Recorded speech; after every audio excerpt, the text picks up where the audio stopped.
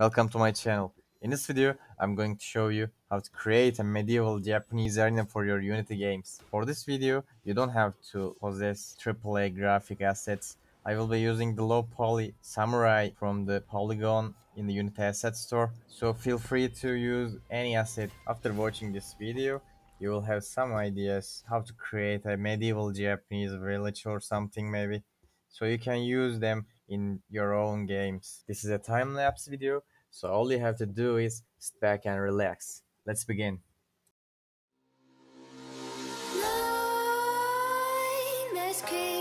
While you and me repeat. This bittersweet heat is suffocating. I'm waiting and always hesitating. Kryptonite desires set my heart afire.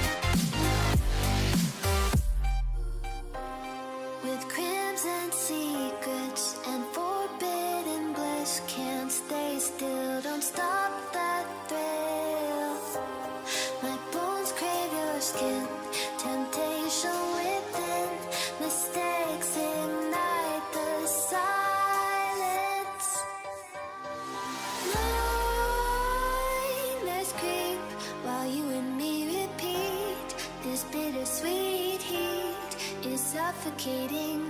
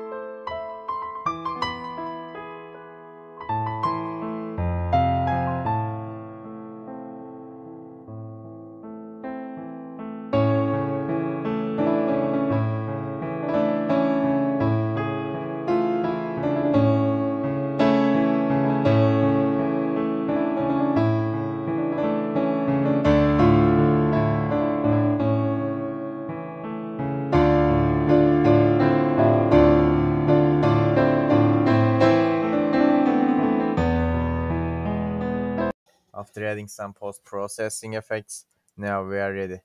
After watching this video, I believe you can create your own medieval Japanese arenas, villages, or temples, or something like that. You can see the final results in the screen. So thank you for watching. See you later.